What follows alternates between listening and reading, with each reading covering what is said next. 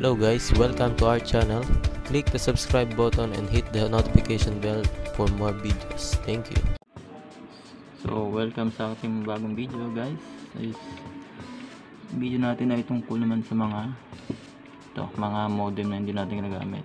So, gagawin natin ay gagawin natin silang router. So, usually ito yung magana nagkaka-internet ka dahil dito sa yan kung cable modem yan o DSL tulad nito. So, yan ang kailangan lang natin ito. Syempre yung ating mga lumang modem. Kahit alin din. Oh. Yan. Then yung adapter. At isang LAN cable o ethernet cable at kailangan din natin ng PC para gawin tong mga step na ito. So ito ang first step natin guys. Una isaksak natin yung power. Yan so antayin niya na mag boot yung ating modem. Yan so ito yung luma na modem dati sa cable. Royal cable so yan. Dual band siya kaya maganda yan. May 2.4 GHz at saka 5 GHz yan surfboard. Yan. So wait lang natin siya mag fully boot para ma-reset natin. So ito yung step 2 guys. Kailangan natin siyang i-reset through. Yan yung pinhole dyan. Yan. pwede natin yung kumuha ng pwede natin pantusok dyan yung kakasya. So yan.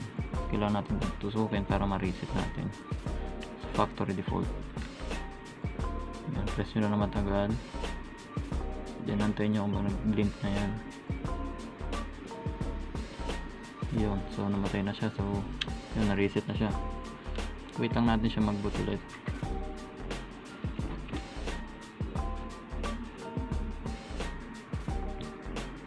So yan, after niya mag-boot guys, yan na. Okay na siya. Saksak natin yung ating ethernet jack dito sa may yan. Then yung isang end nito, plug natin to sa may PC. So yan guys, sasaksak na natin siya dito. Yan, para ma-config natin yung configuration niya dun sa may web web niya yan. Okay. Siya tapos yan lalabas yung network 4 sa ating PC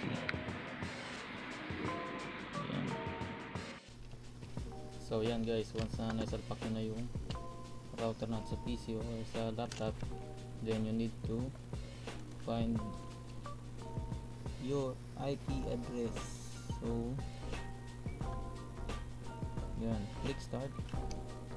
Type cmd then run as administrator. So tatype nyo lang is ipconfig yan labas dyan yung IP address nyo so ito kailangan natin. Mark down nyo lang yan. Then control C. Then punta kayo sa browser. Ang browser yan google safari iba kahit anong browser opera pwede control B to paste so yan. Ito guys yung kailangan natin malaman kasi yung iba walang ano. Hanapin nyo sa ilalim ng router nyo yung username at password ng ano, modem. So akin nakita ko na. So, admin then enter the login so unang una nyo gagawin kung gagawin nyo itong router wireless router so click nyo muna sa wireless then primary network. Yan i-edit nyo lang SSID kung anong gusto nyo ano. So sa akin ito. testing.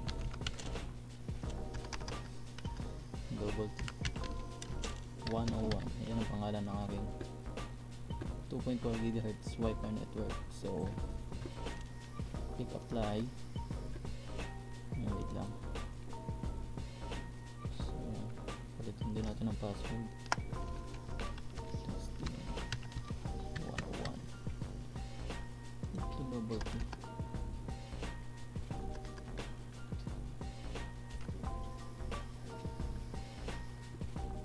So, yun. Apply natin.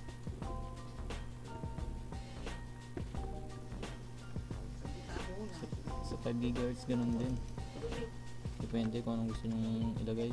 Lagyan natin ng 5 GHz Wi-Fi. Then off lang natin siya. Unencrypted. Yes. Then apply.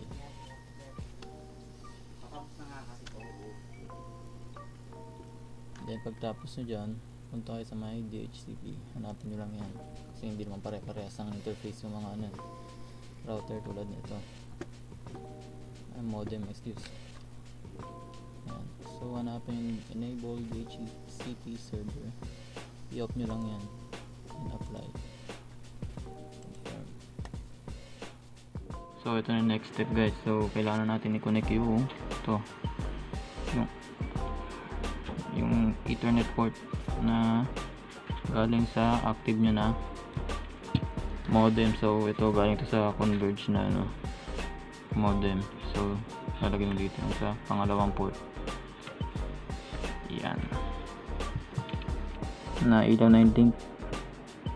So ibig sabihin may internet na tayo. Galing dyan sa may ating yan connected na siya. So try natin mag youtube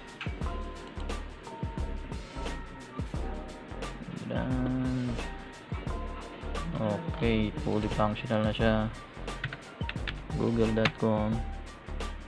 So, yan, may internet tayo, guys. Yan na. Walang iba na connect dyan. Yan. Wala na yun. Ano niya. Coaxial kasi cable modem yan. So, running through LAN yung ating internet. Yan. Punta rito sa ilalim, ilalim, ilalim. Yan. So ito na guys, testing natin yung Wi-Fi. Yung wireless ano niya. Network. So ito yung kanina natin in-edit. So pasok natin yung password. Tignan natin kung may Wi-Fi na.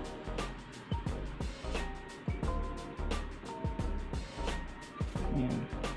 So connect.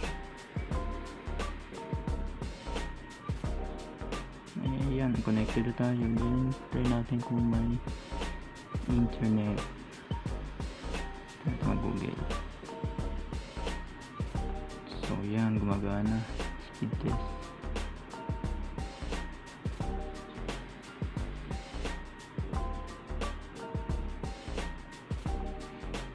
So, yan, success ang guys. Gumana ang ating modem na luma at naging router na siya ngayon. So napanginabangan pa natin kaysa kumakain ng alikabok sa paligid. Yan. So yan. Thank you sa panonood guys. Kung nagustuhan nyo itong video is i-like like na kayo and then subscribe po sa akin channel. Thank you